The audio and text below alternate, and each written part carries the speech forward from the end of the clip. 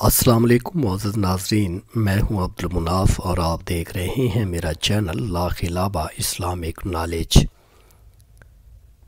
आज बात करेंगे मोज़ नाजरीन मौजा जनाब सैदना हज़रत ज़ैनब रज़ी अल्लाह अनहा। रवायत है कि बहत्तर शोदाय करबला का सोकवार लुटा हुआ काफिला जिस वक़्त बाज़ार कोफा में गुज़र रहा था तो तमाशाइयों के मजमा कसीर में से एक कोई आगे बढ़ा, जनाब सैदना हज़रत ज़ैनब रज़ी अल्लाह अनहा के ऊँट के करीब आकर जनाब की खिदमत आलिया में यूँ अर्ज़ गुज़ार हुआ कि ए सखी की बेटी ए सानी ए सानी जहरा ए मुश्किल कुशा की लखते जिगर पाकसार की मुश्किल आसान फरमाइए। मैं सख्त परेशान हाल हूँ, मकरूज़ हूँ। मुफलसी ने मुझे हर तरफ़ से घेर रखा है। आप सखी बिंत सखी हैं, मेरी मदद फरमाइए।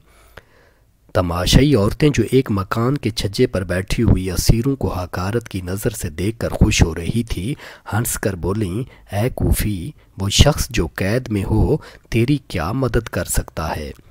शुक्र है कि आज हज़रत ज़ैनब रज़ी अल्लाह अन्हा बिनत हज़रत अली हमारी असीर हैं। ये सुनना था कि अली की बेटी को जलाल आ गया। फ़ौर सर को झटक कर बोली, ए कौम नबकार, क्या तुमने हम, हमें मजबूर समझ रखा है?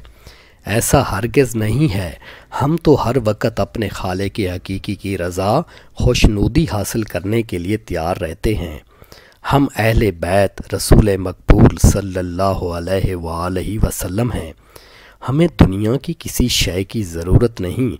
हमें कैद व बंद की मुसीबत में देख देख कर कह के लगाने वालों, हमारी सखावत करबला की जलती रेत पर देखो। कल रोज़ क़यामत अपने रसूल अलैहि वसल्लम को क्या मुँह दिखाओगे? जब वो तुमसे सवाल करेंगे, मेरी इज़्ज़त के साथ क्या सलूक किया गया? यही अजर रसालत है कि उनके बेटों को भूखा प्यासा ज़िबा कर डाला और मेरी मज़लूम बेकस बेटियों को बेकचा वो ऊँटों पर नंगे सरकैद करके शहर बा शहर फिराया गया। ए मगरूर कौम, तुमने हज़ार बार आजमाया लेकिन तुम कायल नहीं हुए ए कौम अशकिया। आज हमें नंगे और खुले सर देख देख कर खुश हो रही हो और तनो तशी कर रही हो। तुम्हें अपने अंजाम की कुछ खबर नहीं। घबराओ नहीं, वक़्त बिल्कुल करीब आ पहुँचा है और तुम्हें अपनी गुस्ताखी का मज़ा चखना होगा।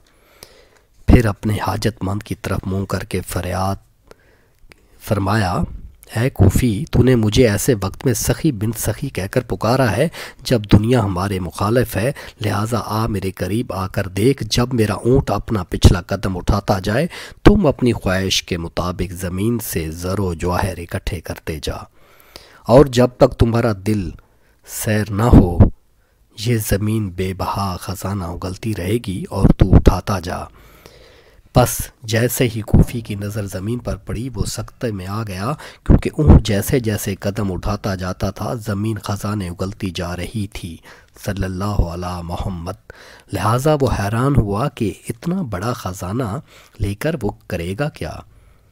इतने में यख लख्त वो सर पीटता हुआ दौड़ा और चिल्लाया ए बिनते रसूल मकबूल सल्लल्लाहु अलैहि वसल्लम ए सखी की बेटी ए सानिया जहरा ए मुश्किल खुशा की लगते जिगर, मुझे अपने नाना सल्लल्लाहु अलैहि वसल्लम का कलमा पढ़ा लीजिए। बस, वो मुसलमान होकर मुहबान मोहम्मद व आल मोहम्मद में शामिल हो गया। अल्लाह सल अला मोहम्मद व आल मोहम्मद। दूसरी तरफ़ अभी ये काफ़िला आगे बढ़ा ही था कि जनाब सैदना हज़रत ज़ैनब रज़ी अल्लाह की दुआ कबूल हुई और मकान पर जो छज्जा जिस पर मरूर औरतें बैठी थीं, धड़म से ज़मीन पर आ गिरा और तमाम शामी औरतें वासल जहन्नम हो गईं। नाजरीन, ये था मुआजा हज़रत सैदना ज़ैनब रज़ी अल्लाह अनहा का, जो हमने बड़ी तफसील से बयान किया। अब मुझे इजाज़त दीजिएगा, फिर मिलते हैं नई वीडियो के साथ। तब तक के लिए अल्लाह निगेबान।